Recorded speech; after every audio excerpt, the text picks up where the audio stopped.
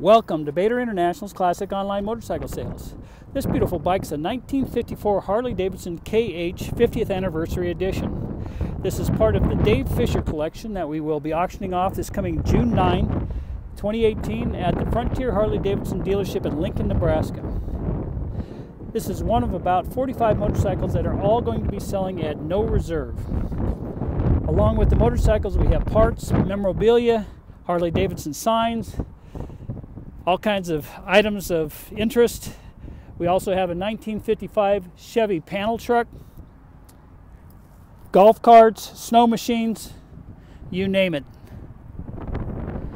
This bike's been nicely restored, and uh, again, this is a 50th anniversary.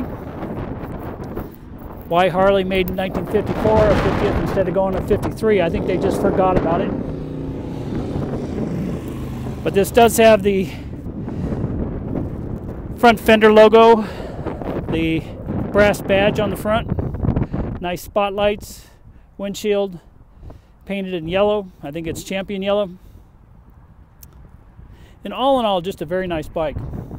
Again, no reserve, 45 motorcycles, parts, memorabilia, all being auctioned off in Lincoln, Nebraska, June 9th at the Frontier Harley Davidson dealership.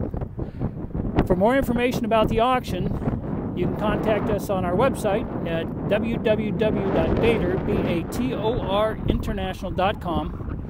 or you can call us direct at 805 798 1802, and I'll be happy to speak to you about it.